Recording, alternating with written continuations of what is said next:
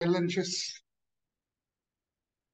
of artificial superintelligence. Uh, me.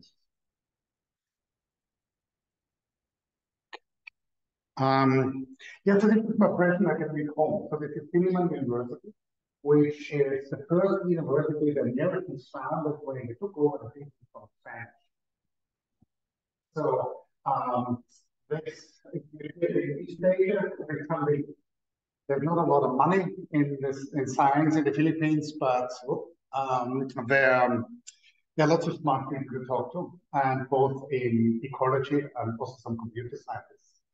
And there's actually an overlap. People doing, uh, you know, fish image recognition, and yeah. So the topic of today is essentially how far will artificial intelligence go based on how much energy and the so you know the, the audience which uh, you know, assume the, the online audience and everybody here I probably don't have to convince that uh, artificial intelligence has made great progress in the last uh, decades. So, you know, there, these are some examples, of course, uh, be defeating human champions in Go and chess, you know, uh, image recognition generation, text production, and and then things like um, autonomous vehicle navigation. So all of these things are, are very impressive. And you know, I don't I don't want to be like a, a naysayer, right? Like I, I, will argue that there is a certain limit, but that doesn't mean that I'm not, not absolutely impressed by uh, these um, by these achievements. So you know, what we can probably agree on is that all of these achievements are more or less single skill uh, tasks, right? So the program which plays Go doesn't even play chess. And the autonomous vehicle navigation system does not uh, play chess or Go. And so this is a different difference to humans. So there's also a philosophical discussion you know, what do these achievements mean? You know, how similar is this in the human cognition? And, and I think this is an interesting discussion, but it's it's tricky. But I think we can agree that it's a, a single task uh, achievement, whereas the the, um, the ultimate goal, in a sense, is will there ever be artificial general intelligence? So who are these guys? So I actually took one of these artificial intelligence free online uh, image generation programs and I asked them, uh, you know, please make a painting of artificial general intelligence. And then you, you, you can choose you know, which style, and I choose, you know, like a Renaissance painting. So they look pretty, uh, you know, I don't want to make fun of, you know, image generation. I think this is really cool stuff, but I do think this is funny uh, the artificial general intelligence seems to have eye problems. But so this is uh, essentially this is a apex achievement, right? This would be uh, to having an entity uh, running in a computer which is as good uh, as a human uh, as all of these things, you know, go driving a car, speaking, drawing, right? not in separate programs, but in, in, in one unified and um, so the question is, will we get to this? And then let's say we have artificial general intelligence, and let's say it's running on 10,000 uh, supercomputer nodes. Why not just double or triple the nodes, right? And it would be the equivalent to, you know, doubling or tripling human brain power, right? And then we would have something uh, called artificial superintelligence. This is the the super intelligence does look more intelligent than the artificial intelligence. So that would be then an, an entity which is way above what a human can do. And so this would be uh, the artificial super intelligence intelligence would relate to us like we relate to a chimpanzee. Right? I mean, there are of course many similarities to human and the chimpanzee brain, but you know, the human brain is three times large and so much more powerful, right? Like a human, I, mean, a chimpanzee can use a stick, right, to poke for termites, and that's tool use. but you know humans can make you know, laptops, cars, spaceships, everything, right? So it's it's a massive difference. And then you know the, there's a lot of speculation, and uh, our argument in this paper, which I published with my friend and colleague Jay Coggan, who was up until very recently with the Blue Brain Project. Um, we argue that we're not going and we are not going to get there for the following reason that uh, essentially the number of computational steps per time which a artificial general intelligence will have to carry out will have to be similar, at least in an order of magnitude, to what a human brain is doing. And this from this, we can then compute how many, we can calculate how much energy this artificial general intelligence would uh, need to even run. And so what do I need? Uh, so what do I mean by computational steps? So this is a, in neuroscience, this is almost cliche, this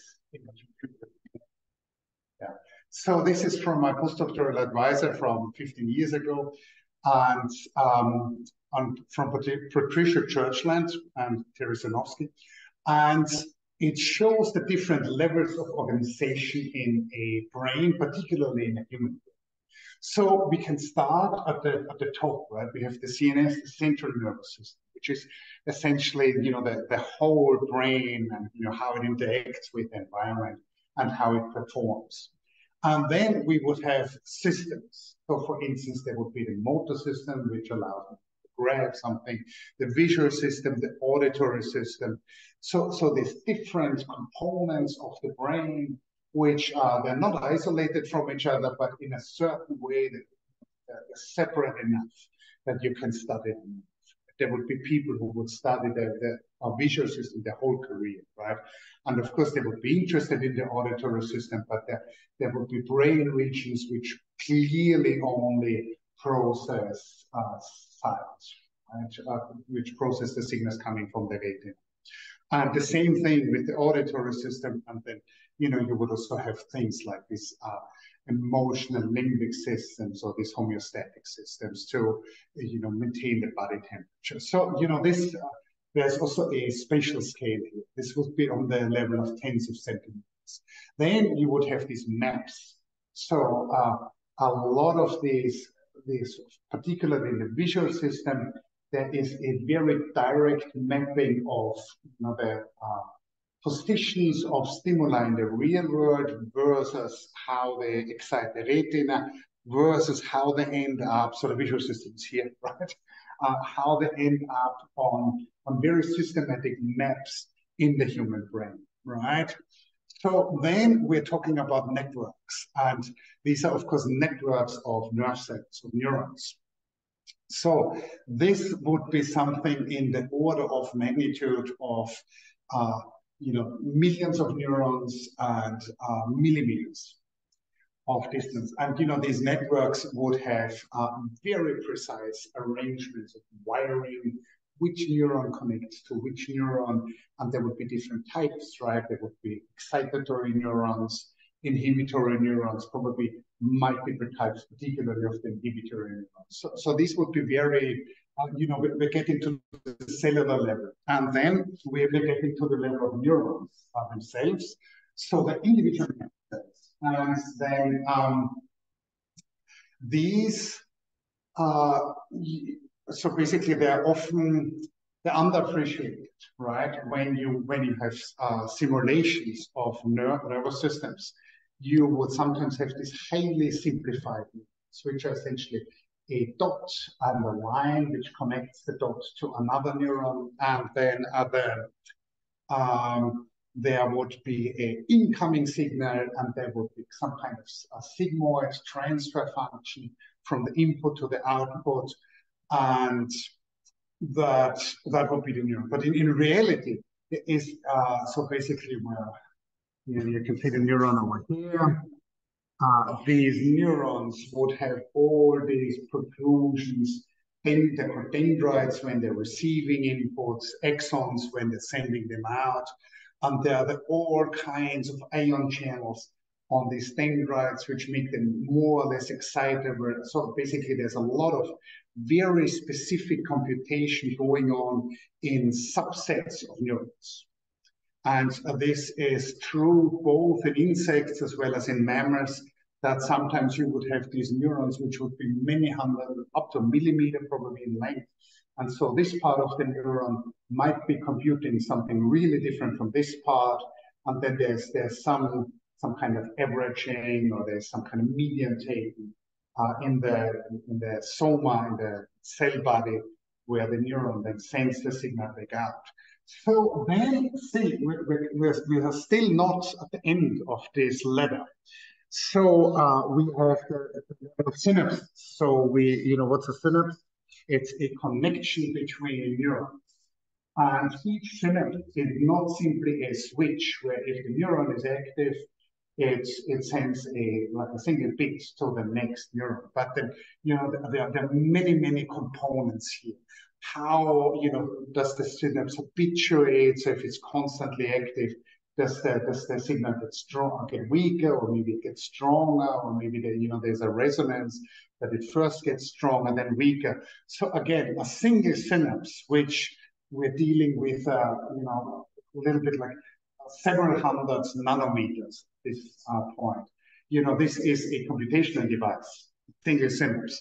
And then still, when we go smaller, when we go to individual receptor molecules, so ion channel molecules, these are you know, computational units. So a, uh, for instance, there's this um, NMDA glutamate receptor, which is integrating the, the uh, level of excitation of the cell in which it's a part of, uh, and it's integrating that in a nonlinear fashion with the signal which is coming from the uh, cell, which is sending it, a signal from the, the presynaptic cell. So why, why am I giving you a, such a, um, you know, mini tour of the levels of neuroscience? Because every single one of these levels uh, performs computation. So if you if you so the, the estimate for the uh, nerve cells in a human brain is about 100 billion so, and it's wrong to say we have 100 billion uh, computational units. We, and, you know, they would, they would perform, let's say, 10 computations a second based on their spiking patterns, right? On the, on the signals which they're firing. Rather, each neuron in itself is a, it's a huge computational machine, right? With many uh, synapses and with many receptor ion channels. So basically, there is a, a massive amount of computation going on at all of these levels.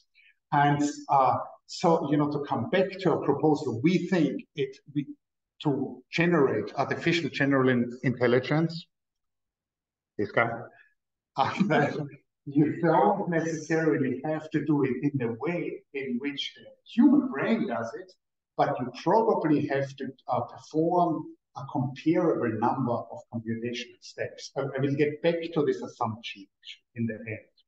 Now, how much energy would that use? And, and there are there's a way to estimate that, which we we took. And this is the way, uh, yeah. So basically, you know, this, this is another example, right? This is the simplified synapse in in many artificial neural network models. Right? There's a pre-synaptic activation, there's a signal transfer function, and there's an output.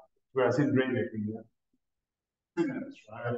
These are the basics with the chem with the neurotransmitter chemicals, which excite the postsynaptic neuron. You know, there is there is the information transmission from DNA to RNA to protein, right? Which which happens at a slower times, but it also happens in, in all of these uh, cells. And then, you know, you have this, this complex biochemical cascades in the cells which do computations. So, you know, this is just another making the point again that there is an enormous amount of computation going on. So, how much energy would that take? So, some people actually tried to simulate uh, at a high level of detail uh, how that would work. Uh, this is you know, this is this Blue Brain project, which uh, you probably heard about that. There was, you know, I, th I think it's it's good to have ambitious goals, but maybe they probably oversold it a little bit, right?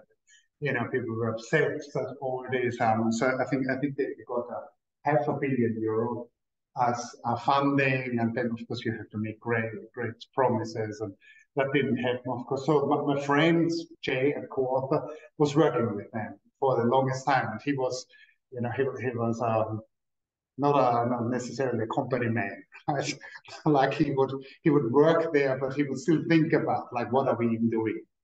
And this is how this paper also came about. And um, now the so they had a massive supercomputer and they simulated this right? So they simulated uh, about 10 million neurons, and each neuron was represented in great detail. So they went from essentially the networks level to the neuron and the, uh, the synapse. They, they didn't really uh, simulate this mechanism. So that basically the uh, the conformational changes of the individual ion channel molecules uh, of you know these receptor transmembrane proteins. So they did not simulate that very similar. Uh, they just didn't have enough capacity to simulate these larger levels. So uh, 10 million neurons is um, 0.01% of the neurons of the human brain, right? And then uh, the, so how much energy did that take? And so basically the blue brain, I know it's, it's not very didactic to have, you know, uh, slides with a lot of X. It's just unavoidable, unavoidable here. So the computer had uh, two times uh, 10, 2000 uh, teraflops with uh, 400 terabytes of memory.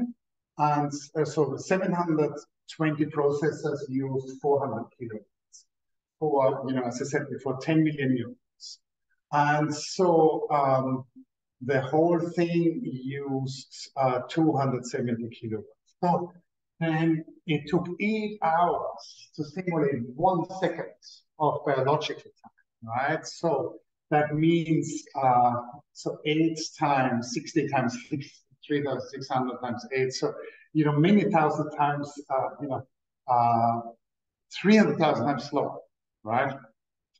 And so not only did that use this enormous amount of, you know, room-filling hardware with a lot of electricity, but it, it still, it, it was not nearly as fast. You know, it was not computing this on the fly.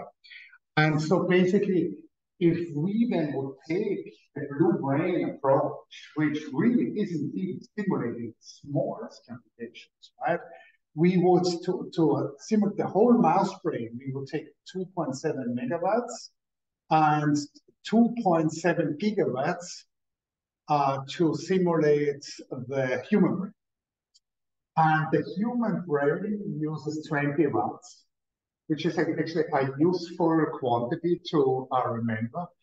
If you're, for instance, if you're in charge of like a lecture room like this, because you can, if it's full of people, you can turn down the heating by like 20 watts multiplied by number of people. Uh, like uh, it's the, the brain is uh, by far the most energy intensive organ, of course, in a human. So, you know, and then, so, you know, this this is still only the slow simulation. So if we then use this conversion factor to make it 300,000 times faster, and we can assume we probably need about 300,000 more energy, meaning that and when you compare that to 20 watts, uh, the, the biological brain is about nine times uh, nine 900 million times faster, right? And then a, a, a conventional computing architecture.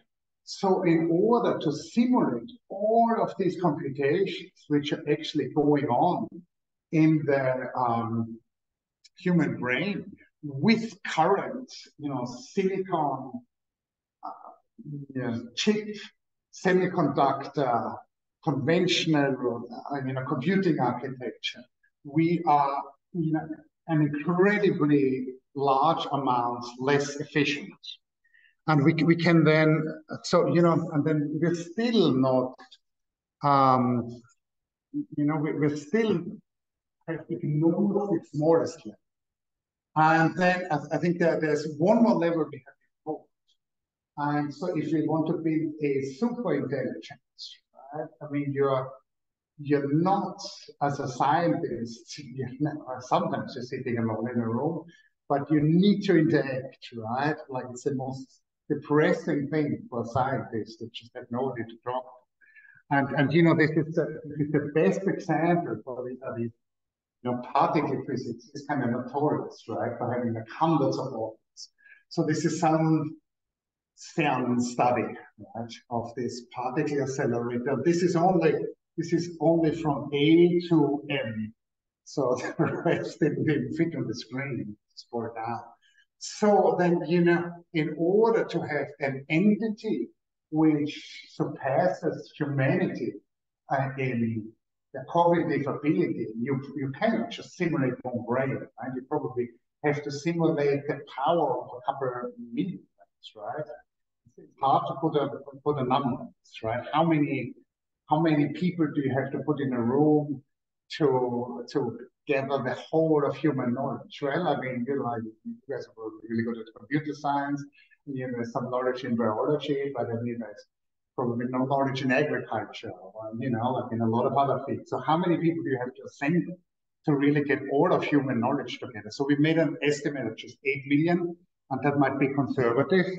So, so then, you know, we, we get to these equations. So special requirements of artificial superintelligence or ERASI equation. It sounds a little bit like a Hungarian mathematician. yeah, no, yeah. It's very cool. so this equation, I think, makes a lot of sense, and, and I think it's it's really kind of like the Drake equation. Are you familiar with this? So this is the equation: is how likely is it to find other intelligent civilizations in the universe, right? And then you multiply the number of stars, the fraction of stars with planets, where how often did a life start, might did how often did multicellular life start, how often did intelligence uh, organisms evolve, how often did the intelligent organism start you know, using radio communication, right? And then you get a number, right? And then the, the Drake equation is true, right? And what's what's up for discussion is what numbers do you put in the Drake equation? right? And obviously, we haven't. most people would agree that we haven't seen any space aliens, right, visit us. So, so why is that, right? There will be one number which is really small in of in the Drake equation, and people can argue about which is it very unlikely that intelligent life arises or multicellular It's very interesting, and I think this is very similar, right? So the energy requirement for artificial superintelligence is essentially the energy requirement of the brain times F, which is the, uh, how much less efficient are computers. And so here we had what uh, 900 million, right? And then we have a G, which is the group size for you know group intelligence. So we we took 8 million, but it actually it does not the argument does not depend on that very much. And uh, you know, F is is the superior. So you know, like it's uh, if you have um, somebody like 1.1 might not be very good, right? If, if you just have a super intelligence which is 10% better, which is just like, you know, some chess champion, right? and whereas, you know, we, you want to have something which is like significantly higher. So we, we choose three. So then we get to the uh, we get a value for our assumptions, which is about 7.8 times 10 to the 20 seconds uh, power watt. How much is that? So we, we made a little plot, of course. So this is the, this is obviously a logarithmic plot. So, you know, here we have the human brain, that's 20 watt. And then, you know, we have the mouse cortex. This is the, uh, this is what the human brain project is. And so mouse cortex section simulation. Then if we would scale that, right? So if we, if we would make it that we uh, would we would have the whole mouse brain immediately energy requirement would go up. Then we have the largest supercomputer. So if somebody really wanted to, they could probably almost simulate a whole mouse brain where you simulate one hour uh, one second in eight hours, right? And then you have the uh, the human brain scale, and then we, here we have the mouse brain scaled and time corrected. So here we are at the point that we simulate one second of mouse brain activity um, in, in one second of computer time, right? And then we have the US power output. So this is the whole electricity the largest industrial nation in the world produces. And then, you know, we have the human brain simulation, just a single human brain, right? Um, uh, scaled and time corrected, meaning that we simulate the whole brain and one second of simulation time is one second of human brain time. And that is already three orders of magnitude more than um, we get from the whole US power grid. So I don't think, you know, I, I think it's, it's going to look very, very, I think we have like group intelligence, if you have 8 million humans, we're, we're right up there, right? So we're obviously we are, we're six orders of magnitude worse. So we're like 11 orders of magnitude worse than what uh, the US could power if everybody else, you know, stopped using electricity. And so, so you know, uh, these three are set because they're not going to come into existence. And um, so I think I, I, think the building is owned by the Catholic Church, right? So, so I think if, if you if you promote somebody to stay into it, you actually have a advocatus diaboli, right? like a like a devil's advocate, right? correct? And I, I, I, think that's how it works. And then, then all the other cardinals well, you know, it should be the same. And then that person has to take like the counter position. So I'm, I'm going to try to counter my own argument here. And there are three possible workarounds. So, you know, what about 20,000 lines of cable, right? So the assumption that you need to have all these processing steps, which not in shape and form, but in, in, in number, roughly, order magnitude, correspond to the human brain. What if that's not true? So basically, what if some brilliant computer scientist can just, you know, sit down, write 20, whatever, 40,000 lines of enormously brilliant code. Obviously, you know, that, that would have to be trained, right, with data sets, and then and then all of that you know biological nonsense can be uh, circumvented.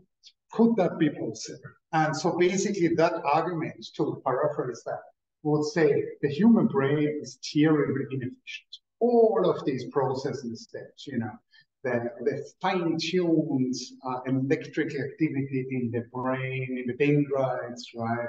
All that you know the, the all the all of these receptors, right? These uh, neurotransmitter receptors, they're, they're multiple, multiple different uh, subtypes, right? All of that is essentially just um, it's a waste of time, and in reality, we, we, we don't need that. Now, why do I not believe that? So this is Meta Spirinia Valcotti, which is from the early Cambrian, which is one of the first um, chordates. So it's it's a it's just a step before the first vertebrates. So this is like a proto-fish. And they're actually very similar animals still alive. And then they have something which already resembles at least the gross anatomy, you know, the rough divisions of our brain. So there's a, like a hindbrain, a midbrain, forebrain. And so, you know, this is half a billion year, years ago. And then there are billions of vertebrates on the planet. And each animal, each generation is an optimization. So this, you know, essentially, this is a genetic algorithm with a billion steps with many billions of individuals. And uh, I think we have really achieved a level of optimization of animal brains, which to me doesn't make it very credible that essentially the human brain is just really inefficient and everything it does, we could essentially, you know, just, there would just have to be a really, really clever code. So I don't think that works. Now, you know, we can, why don't we copy uh, and do compute in ways like the brain codes? And that people try that, right? It's called neuromorphic engineering. Now, um, I have I spent three years in a lab where half of my colleagues were doing this, and they're still my friends, and we respectfully disagreed, but we disagreed. So I was not impressed, essentially. What they did, they, they would take principles from neuroscience and then they would they would write algorithms, which are essentially running on conventional computers for the most part, and you know they would try to essentially um, you know run some clever kind of algorithm based on let's say dendrites and axons, and uh, there you know it's there was there were interesting approaches, but this is not essentially they were not trying to replace you know uh, semiconductor chip computing at all. That's that's I didn't get the impression. The other other thing is quantum computing. I, I tried to read into that a little bit when uh, reading this paper. I can't say that I have a high level of expertise. It could be that uh, this will uh, get us significantly closer to that uh, final goal. So, um, in in conclusion, I don't think that energy, uh, because of energy requirements, we will ever get close to artificial general intelligence or as a next step to artificial superintelligence. And I think a lot of the, the discussion has been very uh, utopian, very science fiction like. So that there are these warnings, you know, that these systems will essentially take over human uh, matters within months or years. I, I don't think this, will, this is uh, in principle likely to happen. So my thanks go to uh, my co-author Jay Coggan and to Dan Brooks, who was actually, I think now he's in Bielefeld. He, he is an uh, American scientist who was at the Konrad Lorenz Institute for a while. That's where I met him. And this is a paper which is, is related to this field. Um, I would like to uh, take three more slides of your time to uh, tell you about something completely different, and I hope this is interesting too. So I'm trying to, so, so there is a very uh, flourishing new field in the last 10 years probably, which is called um, psychedelic medicine. So there are the substances, you know, which for the longest time you know, they had essentially they had a, a bad PR, right? And MDMA, you know, ecstasy. But there are increasingly very professional efforts by the medical community to use these in psychiatry. So, for instance, for people who have, you know, a post-traumatic stress disorder or you know other chronic uh, psychi psychiatric problems. And I think this is a good field, but I think they're often it's a, a shot, and so they're they're often they're applying these very complex substances and they're not really understanding what's going on. So the um, there is some work of uh, how to simulate and how to theoretically understand the effects of psychedelics on whole brain activity. And some of it is mine. So uh, some of the work, and I'm trying to commercialize this basically. So I'm trying to get funding or to get a startup going to uh, run simulations of how do human brains and you know brains with problems react to these psychedelics and you know, what exact, what concrete tips can we give these medical practitioners? Which substances should be combined? How should that be handled with sleep, right? It's, it's uh, sleep is a very hot topic, I think, in this uh, context. So if you're interested in teaming up, if you have good leads on, you know, who would fund me, fund us, you know, if you have any input, I'm, I'm very happy to about that too. So thank you.